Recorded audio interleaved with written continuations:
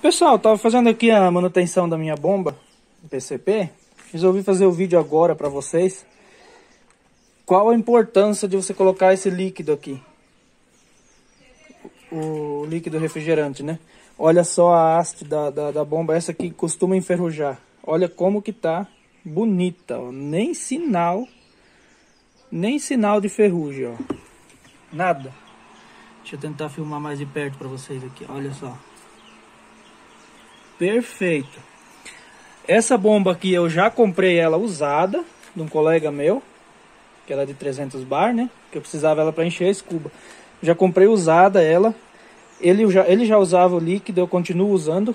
E olha só a perfeição. Eu tô fazendo a manutenção dela. Porque antes eu tava enchendo a escuba. O pé pisado aqui, quando você baixa para bombar, ela tava dando umas, de vez em quando umas escapadinhas de ar pro lado aqui, você sentia na perna, né? Um, um sopro de ar. E eu tirei essa, essa borracha que vai aqui dentro, esse o-ring, ele, ele prende essa, essa haste aqui, né?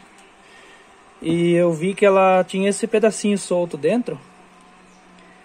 E a, a borracha tá... Deixa eu ver se foca aqui. Tá difícil focar. Vamos ver se eu deito ela aqui. Ali, ó. Tá vendo como ela tá quebradiça?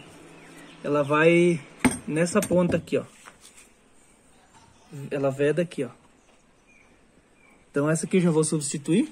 Tenho vários kits de, de, de oringa aqui que eu comprei. Olha só.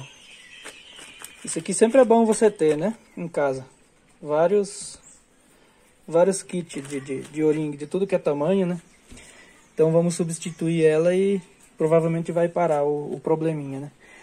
Mas eu quis mostrar para vocês como é importante vocês colocar o líquido. Não enferruja a haste da bomba, essa aqui ela gosta de enferrujar, porque é um lugar que esquenta muito e ela cria umidade e soa.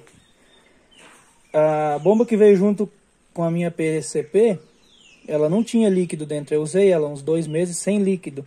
E já percebi que aqui no pé embaixo ela começou a criar um ferrugem. Aí eu peguei, passei um bombrilzinho, limpei e coloquei líquido. Até hoje não deu mais problema. Eu comprei aqui um kit de de fazer essas manutenção para tirar o-ring, essas coisas do no AliExpress. Paguei bem baratinho. É muito prático. Você pega com a pontinha aqui, põe no o-ring e só puxa ele fora. Muito bom ter esse kitzinho também. Então eu quis passar para vocês aí um pouquinho do quão importante que é colocar o líquido, né? Vídeo de desmontar, como desmonta, como monta, tem muito vídeo no YouTube, né? Quis mostrar para vocês um pouquinho do, do, do, da importância do líquido.